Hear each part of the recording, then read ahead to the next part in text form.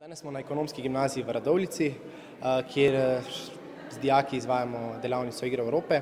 Sam sem predstavnik eh, Društva za podporo mladim in lahko v svojem, na kratko da povem o svojem društvu, dejansko gre za NGO, za nevladno organizacijo, ki skrbi, da je glas mladih slišan v, na najvišjih institucijah v državi. Um, da se navežem na današnje, na današnje delavnice, lahko povem, da so mladi še enkrat pokazali, kako, kako aktivni znajo biti in, zanikaj, in so dejansko zanikali to pasivnost, ki se jim učita. Zdaj, um, še v sami delavnici, danes, danes smo z dijaki govorili o evropskih vrednotah, predvsem je bilo izpostavljeno nekaj, nekaterih par točk, govorili smo predvsem o človekovih pravicah prostem trgu.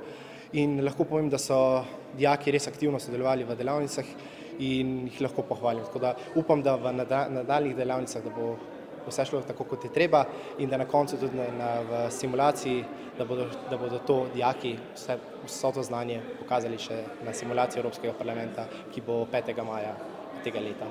Mora se ljudje zavedati, kaj je sploh pomemben v bistvu. No večino tega, kar je v bistvu pomemben, sploh ni, ne da se kupiti tega, pač ni materialističen zdaj, ni navtip. So bolj tako vrednote, ki jih imamo mi vse, pač kaj je nam, tukaj, da smo dobre vole, da vse funkcionira med sabo, pač kaj pa je važen, kaj pa ti bo deset avtomobilov, če pa nisi vesel.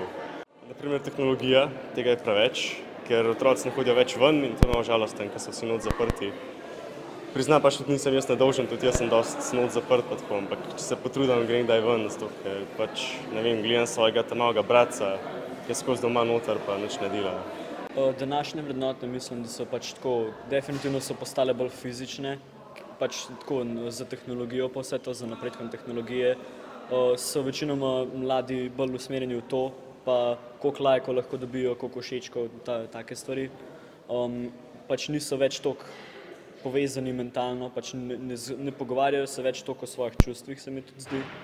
In mislim, da to definitivno primanjkuje tega. Ker zdaj ful ljudi, um, no, velik ljudi, um, nima, ima, nima enakih pravic, kot imajo ostali, ali imajo pa slabše, ali imajo, eni imajo pa tudi boljše pravice. Uh, hočemo, da so vsi enaki, da imamo, ali pa naprimer um, za to brezdomstvo, da bi jim lahko pomagali, namesto da bi sam um, ignorirali, rekli, da se so sami krivi, mogli bi jim pomagati.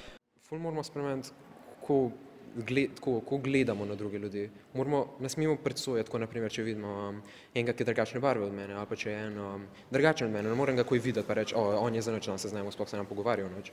Moram tako, da, da enega res določaš, kakšen je, se moraš z njim pogovarjati, ali pa z njo, se moraš s to osebo pogovarjati, da se res, ker ni važno, kakšen zgledaš, ali pa kakšen si, važen je tako, po, v glavi, kakšen si tako, kaž, čez, um, neko bi povedal, če, če sparjazem pa to, če pravičen pa prijazen.